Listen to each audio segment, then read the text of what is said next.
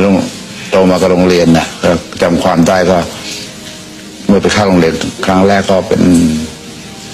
สมัยนั้นไม่เรียกโรงเรียนจิตรดา เป็นนักเรียนอนุบาลที่โรงเรียนแห่งหนึ่ง ซึ่งอยู่ที่เพระที่นั่งอุดร แต่ก็รู้สึกว่าสมัยนั้นรู้สึกว่ามีครบทุกอย่างเลยอย่างดีคือ ก็แฮปปี้ดี คือว่ามีการสอนที่ถูกต้องที่อ่า ก็สอนอ่านหนังสือ สอนเรื่องการใช้ชีวิตทั่วๆไปอะไรต่างนักเรียนก็จะเป็นเวรกันที่ว่าแจกน้ำส้มว่างๆแจกน้ำส้มเป็นเวรกับคนละเวรละสองคนนะคะ เกิดก็จำได้ไหมเป็นเวรกับใครบ้าง จำไม่ได้ๆเวรลบกันดารเป็นแจกน้ำส้มนะคะก็เป็นเรื่องที่เป็นเรื่องที่น่าภูมิใจเป็นเรื่องที่ดี แล้วก็อ่าก็รู้สึกว่าครูบาอาจารย์ก็ให้ความเป็นห่วง ให้ความหวังดีให้ความรัก แล้วก็ตั้งใจมีศรัทธาที่จะสอนแล้วก็ทุกอย่างก็ถูกต้องต้องดุครูครูที่ดีครูที่ดีก็ต้องดุ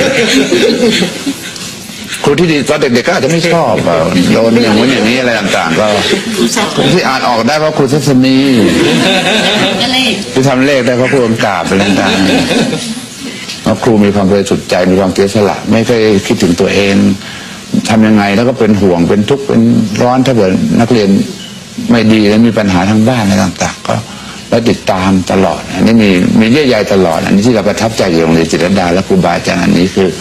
ความรู้สึกที่ มีเยื่อใยความรู้สึกที่ความรักความอบอุ่นอันเนี้ยเป็นโรงเรียนที่มีความรักมีความอบอุ่นก็คือโตมาโตมากับโรงเรียนแล้วโตมากับโรงเรียนนะก็จำความได้ก็ เมื่อไปเข้าโรงเรียนครั้งแรกก็เป็น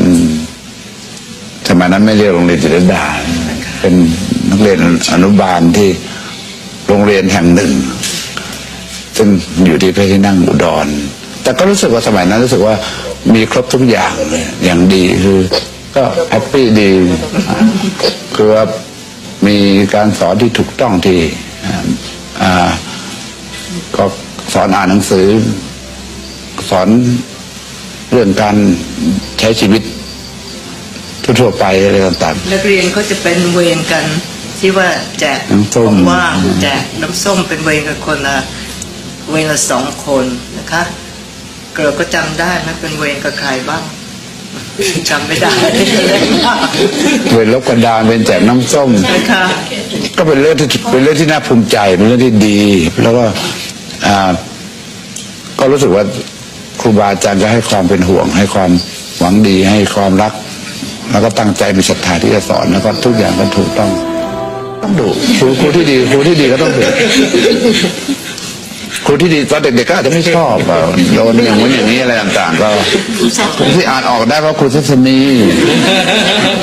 ที่ทำเลขได้เพราะครูอังกาบเป็นต่าง